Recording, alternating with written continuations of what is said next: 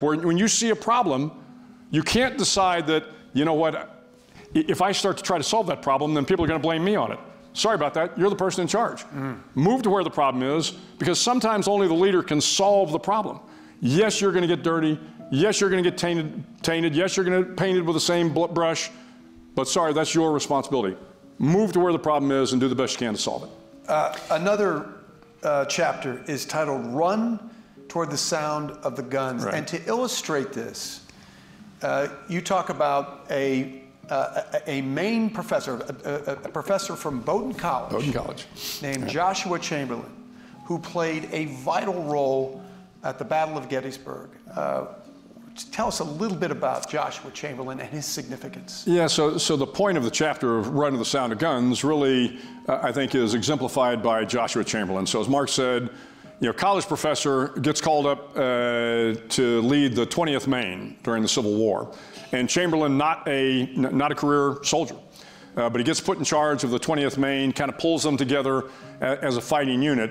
Um, but in early July of 1863, um, uh, the Union forces arrive at this uh, small town in Pennsylvania called Gettysburg. And uh, within the next day, uh, the Confederate forces show up in Gettysburg as well. And the Union forces have arrayed their men, their soldiers, along what's called Cemetery Ridge. It's a little bit of the high ground in Gettysburg.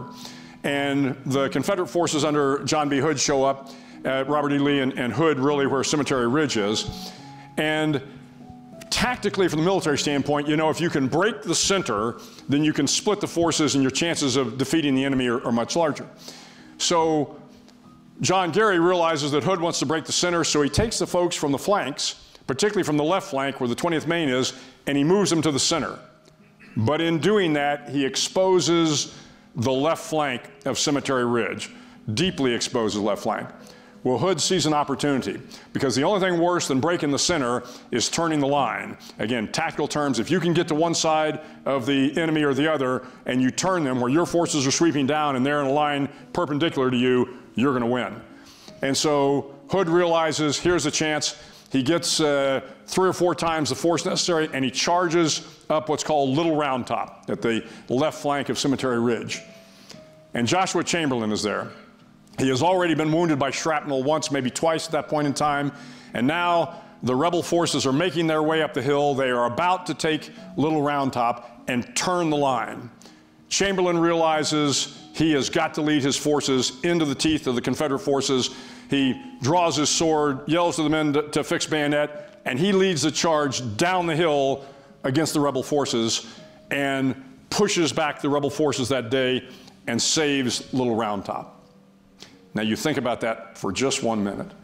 So Joshua Chamberlain, one man, because he ran to the sound of guns, because he attacked the problem head on, didn't retreat, he knew he had to go right into the teeth of the problem, he saves Little Round Top. In saving Little Round Top, he saved Cemetery Ridge. In saving Cemetery Ridge, he saved the Battle of Gettysburg. Think about that. One man. One man's decision. So the lesson from this particular chapter is look, as a leader, um, you have to run to the sound of guns. When you see a problem, you can't decide that, you know what, if I start to try to solve that problem, then people are going to blame me on it.